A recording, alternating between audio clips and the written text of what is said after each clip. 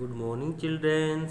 Today I am going to teach you third lesson of English grammar, standard third. Okay, so let's begin. Third chapter name is nouns पिछली कक्षा में आप लोग noun के बारे में पढ़ चुके हैं तो चलिए इसके बारे में पढ़ते हैं a noun is the name of a person place animal और अ थिंग कह रहा है किसी व्यक्ति, स्थान, जानवर या वस्तु के नाम को संज्ञा कहते हैं। Okay? Read the given sentence carefully नीचे गए, दिए गए सेंटेंस को ध्यानपूर्वक पढ़िए। The dog following the boy dog is the name of an animal boy is the name of a person ठीक? डॉग किसी, एक जानवर का नाम है और बॉय एक व्यक्ति का नाम है, लड़के का नाम है। Okay?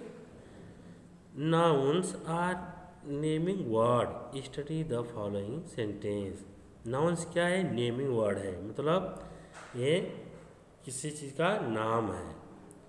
चलिए इसके बारे में नीचे के सेंटेंस को पढ़ते हैं।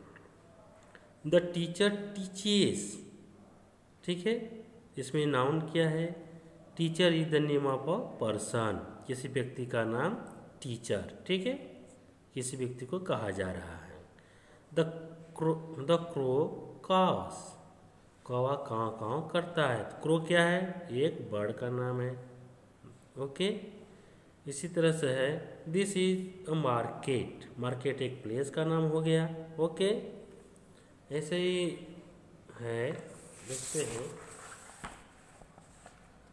The that is an aeroplane. वह एक हवाई जहाज़ है। The word aeroplane is the name of a thing किसी वस्तु का नाम एरोप्लेन है। ठीक है? इस, इस, इसी तरह से कहा जा सकता है noun is the name of a person place animal और थिंग कोई भी वस्तु हो कोई भी जगह हो जो चीज़ आपको नज़र आ रही सब नाउन है। Okay students in this sentence teacher crow market and aeroplane are naming words. So, they are called noun. All naming words are called noun. मतलब जितने भी वस्तु हैं, जिनका भी नाम है, कोई ना कोई, वे सब क्या है? नाउन है। ठीक है? Exercise time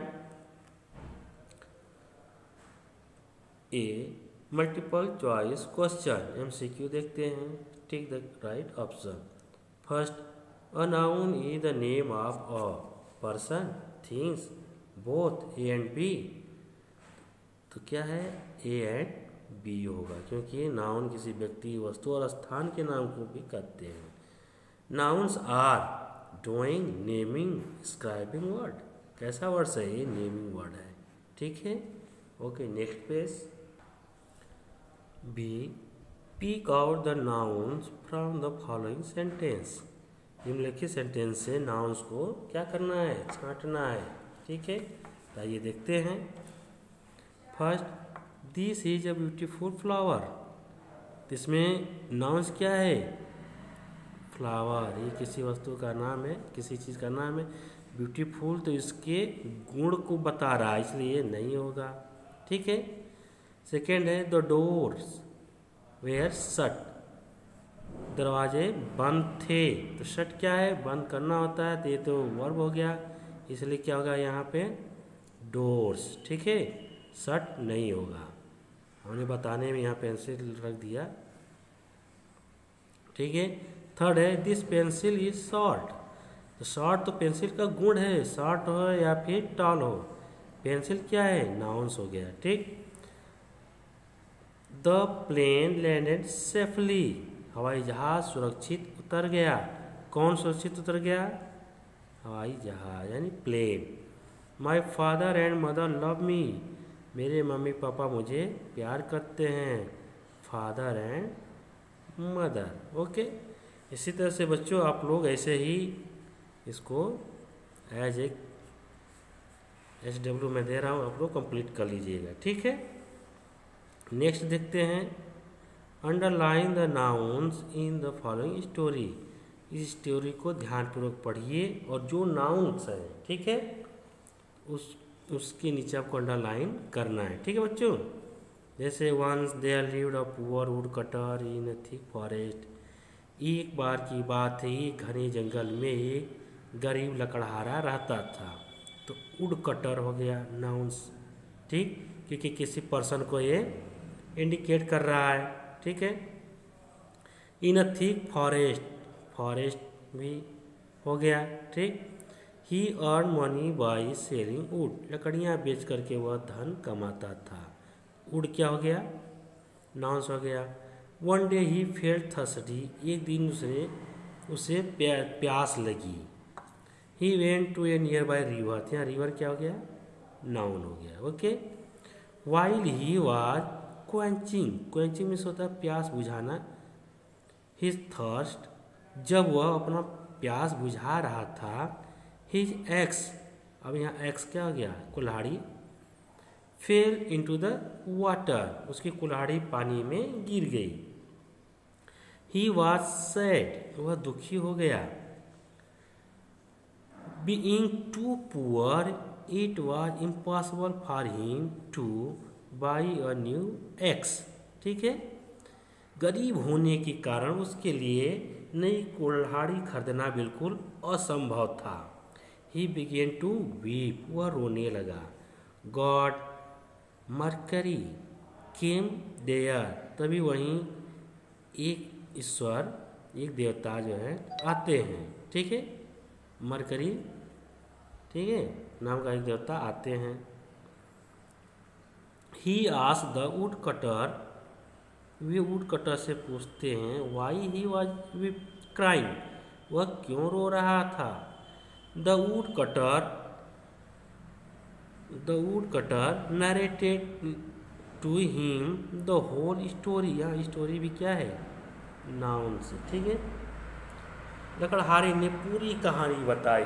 क्या कहानी बताई? उसे प्यास लगी थी और पानी पीने गया और कुल्हाड़ी उसकी नदी में गिर गई। गॉड मरकरी डिसएपियर तभी गॉड जो है डिसएपियर हो जाते हैं गायब हो जाते हैं। Then he then god Mercury appear again with a golden axe तब जो गॉड जो है, वो गॉड मरकरी एक सोने की कुल्हाड़ी के साथ प्रकट होते हैं।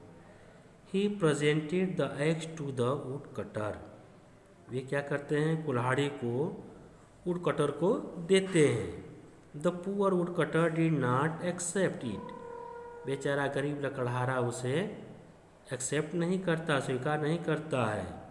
He was interested only in his own axe वह केवल अपनी ही कुल्हाड़ी चाहता था। उसकी रुचि केवल अपनी ही कुल्हाड़ी में थी।